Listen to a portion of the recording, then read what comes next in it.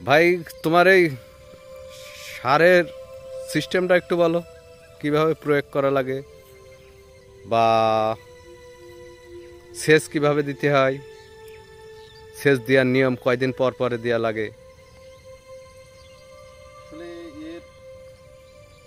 সার প্রয়োগ বলতে জমি ট্রাক্টর দিয়ে সাত কান চাই দেওয়া লাগবে। আর সাত কান চাই দেওয়ার পরে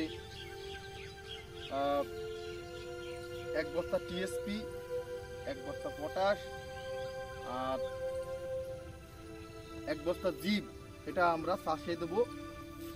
জিবির কি কোনো নাম আছে জিপসামের জিপ সার। নাম আছে। চাইনা দেশি। দেশি জিপ দিলেই হবে সমস্যা নেই।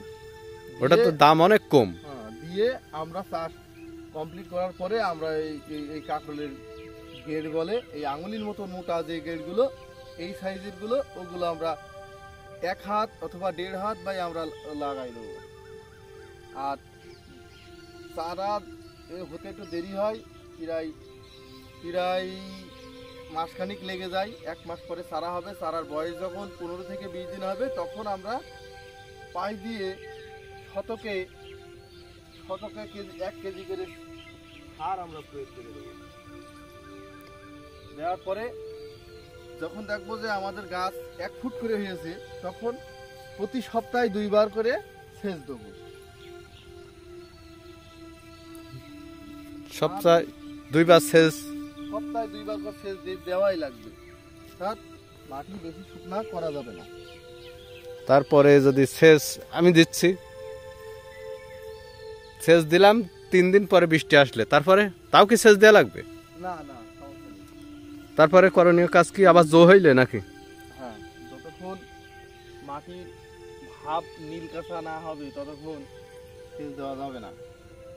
নীল কাঁচা অর্থ কি? মাটি তো অনেক নরম রয়েছে এখন। হ্যাঁ।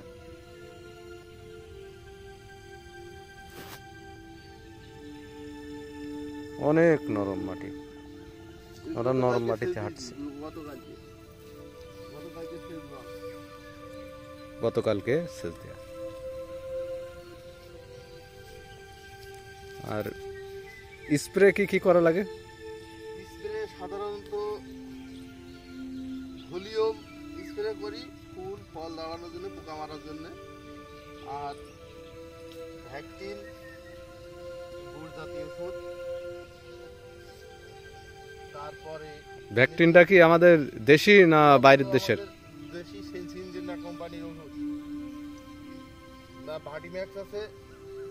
ওটা সপ্তাহে দুই দিন অথবা একদিন, যখন দেখি পোকা বেশি লাগে, তখন দুই দিন সপ্তাহে।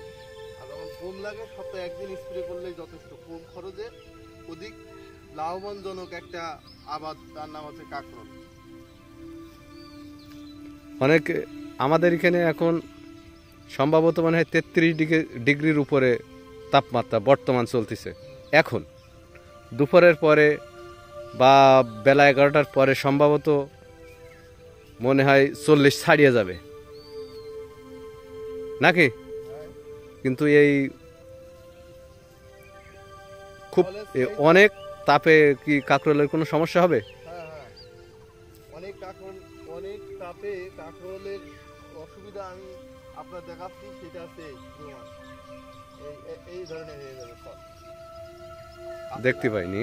এই ধরনের এরকম হলুদ হয়ে যাবে ফল। এই ফলটা আমার অতি তাপে ছিল যার কারণে এইভাবে হলুদ হয়ে গেছে।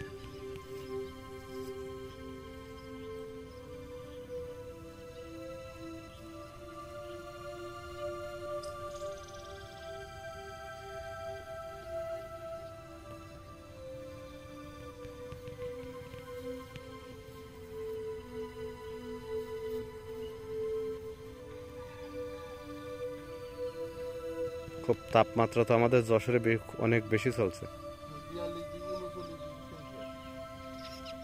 এখন একটু কম আছে। সকালের টাইম তো।